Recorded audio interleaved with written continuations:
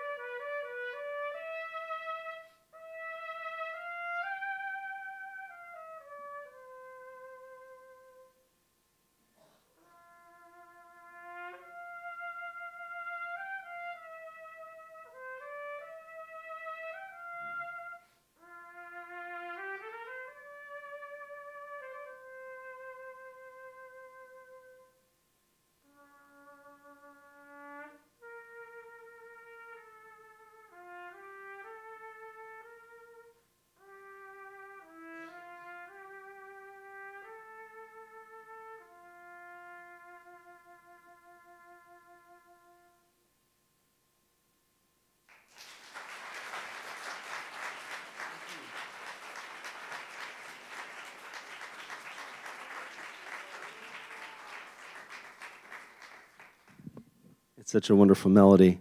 This is uh, a trumpet that I'm playing, even though it might not look like a trumpet to many of you. It's a, a small trumpet called the G trumpet, and the other one was even smaller, which is a, a B flat. They're, they're in the piccolo trumpet family, and uh, um, it's one of my favorite trumpets to play because it has this sort of singing quality about it, or it, I'm able to bring this singing quality to it. All right, so without further ado, please welcome to the stage the better half of the relationship, Karen Neal.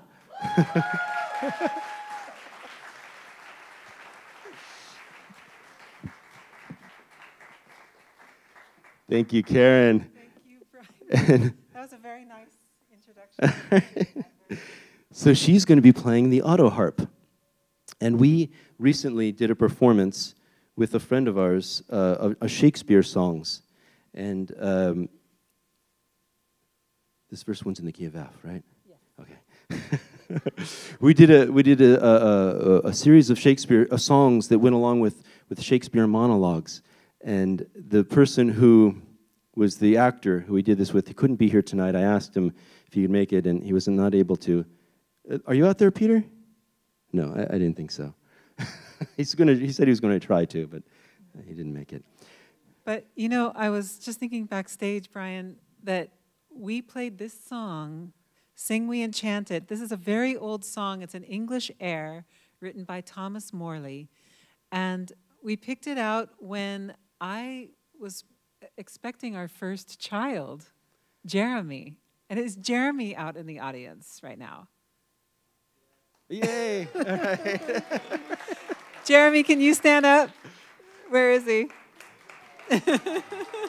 so imagine him in her tummy. No, just kidding. well, we did a Renaissance fair at Vizcaya. Has anyone ever been to the Renaissance fairs there? They're amazing, like human chess and all these things. And I was so ready to have this baby at any moment that people thought it was a costume. but we sang Sing We and Chant It. So, Jeremy, we're going to dedicate this one to you. you ready? Mm-hmm.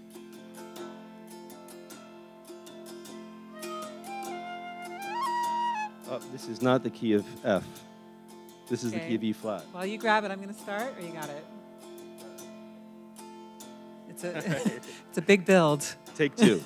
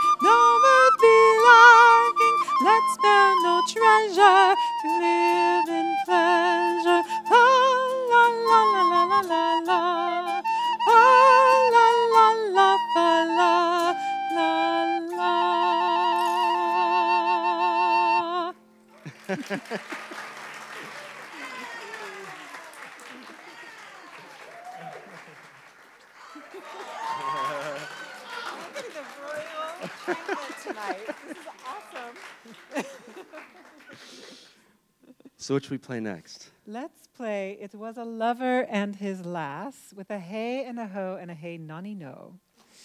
And this is a special song because this, they believe, may have been written by William Shakespeare. It's one of the few songs that appears written out in his plays. And it's really cool to study the music from the Shakespeare plays because once you start becoming aware of all the song references that are in the plays, it just deepens your appreciation and you kind of know a little bit more what's going on. It's like if you went to a play now and one of the actors said, Hey Jude, you would think in your mind, Hey Jude. and then you go on, Don't make it bad. Oh, come on, you guys, it's the Beatles. Song and make it better. Remember to let her into your heart. Then you can start to make it better. Better, better. Oh, yeah.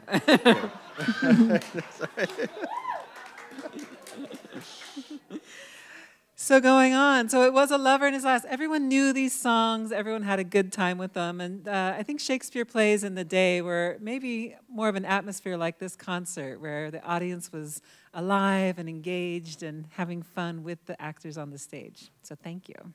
Here we go.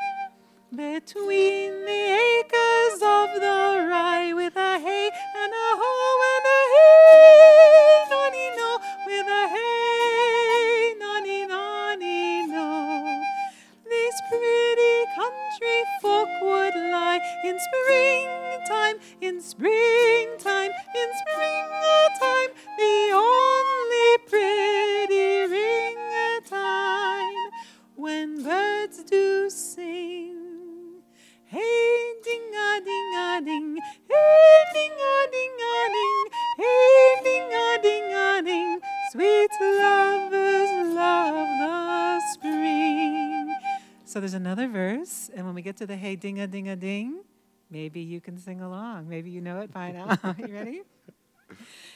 The carol they began that hour with a hey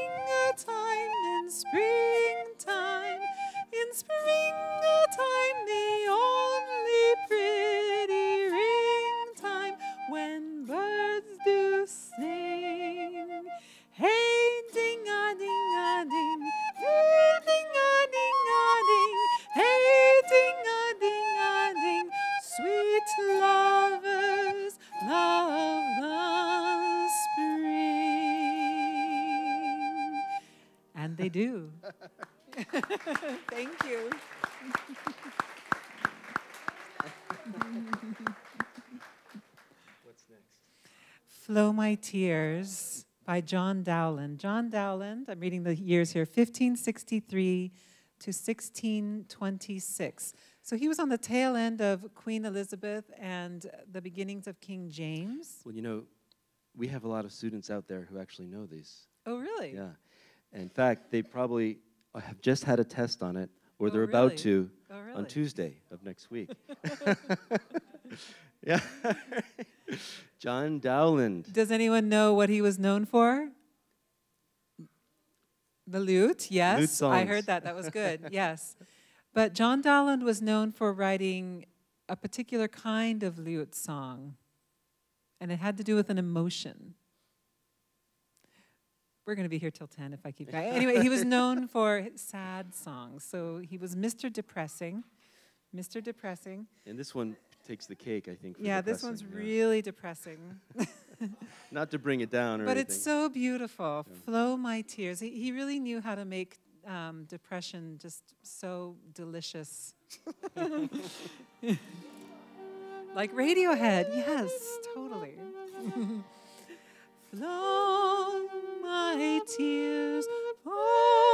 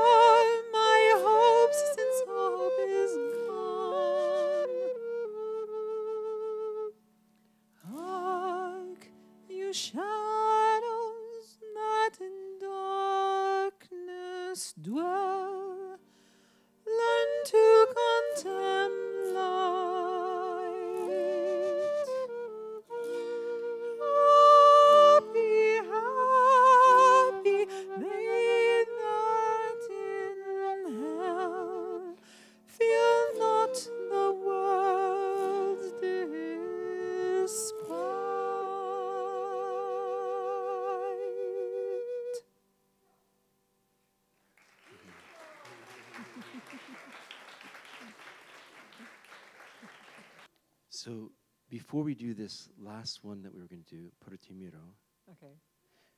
I we were we kind of threw together a piece at the last minute, and I was not cutting my part, but I would still love to have Karen sing it by herself, if you don't mind. Okay. Okay, awesome. Well, we put it together because we were doing all these folk songs, and we are like, you know, there are modern day popular songs that fit this instrument and fit this style. And one of our most beloved popular music artists passed away this year. And I was up in Tampa at the Florida Music Educators Conference. I think some of you guys were there in Tampa. And uh, he had just passed, and they were playing his music on the radio, and this song came on, and I had the auto harp, and I just learned it then. So, to David Bowie, this is The Man Who Sold the World.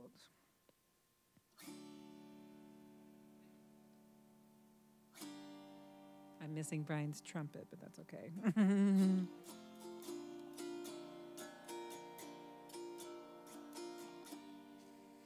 We passed upon the stair.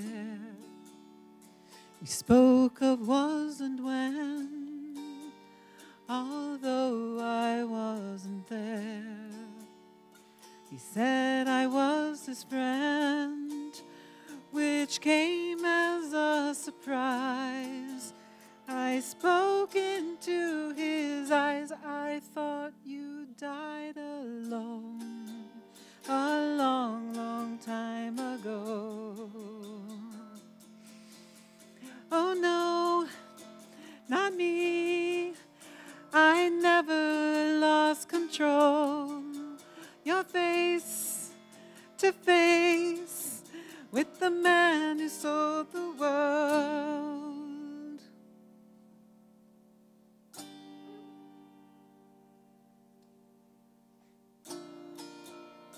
know the part that I'm missing.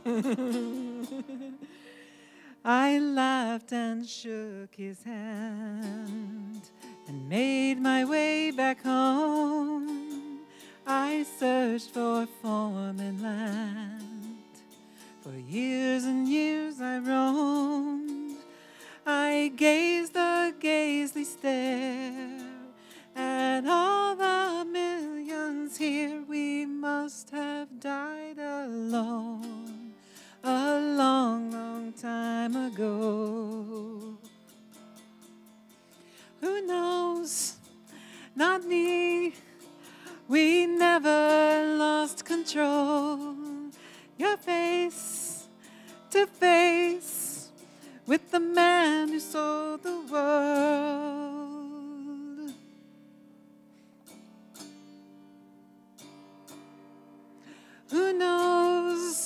Not me. We never lost control. Your face to face with the man who sold the world.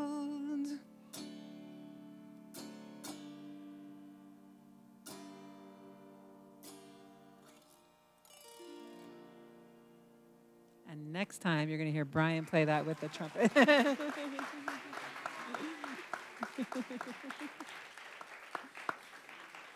Give them to something to come back for. So the last piece that Karen and I are going to do together for you is a piece by Claudio Monteverdi, another name that will be on the tests. and this is his from his last opera, uh, L'incoronazione di Poppea. Correct. And it's the final aria, actually it's a duet, from that last opera. It's called Pur ti miro.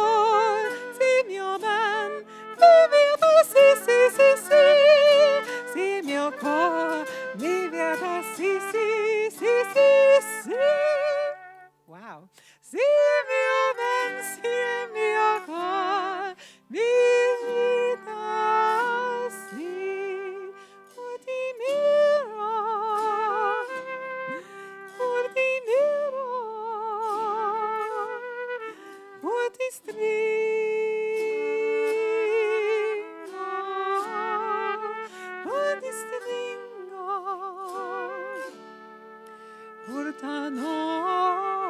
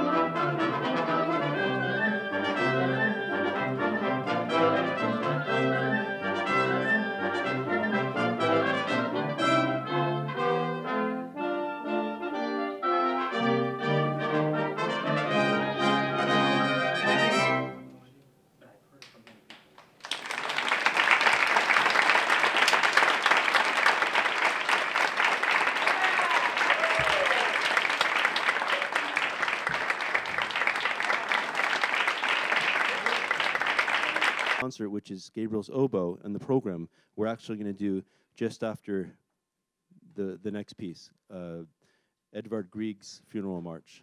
So that's the program change that I wanted you to be aware of.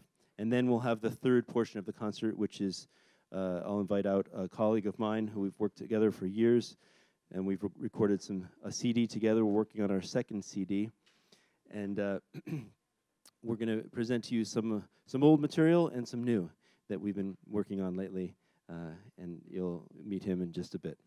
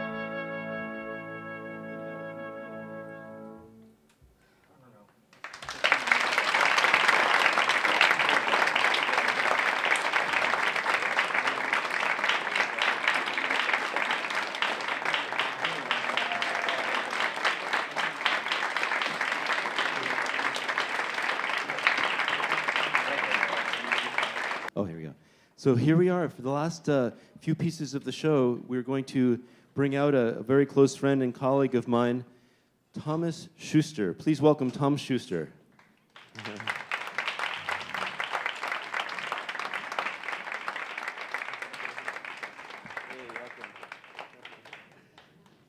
And so we, uh, or as I mentioned, we're working on a, a, our second CD, and we're going to start with um, it, the piece that's listed in your program, the Bo- Bokharian Dervish, and this is a very interesting piece. That uh, these pieces were brought back from a man named by, by a man named Gurdjieff from the Middle East. He went and visited uh, monasteries uh, in inaccessible places and he heard the music at the monasteries, and he brought them back. And in collaboration with a, a Russian composer, de Hartmann, they put together these pieces. And so uh, it's normally done. We we normally do these with organ, but we're uh, for for this evening's performance, we'll be doing it with piano.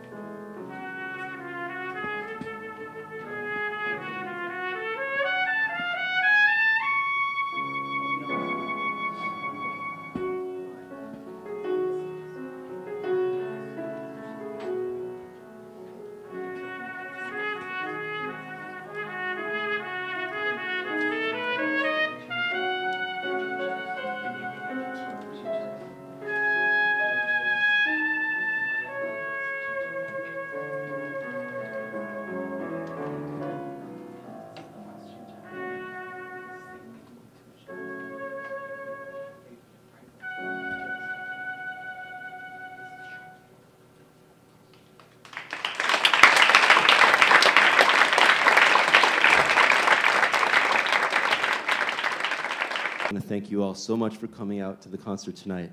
We have one more piece for you.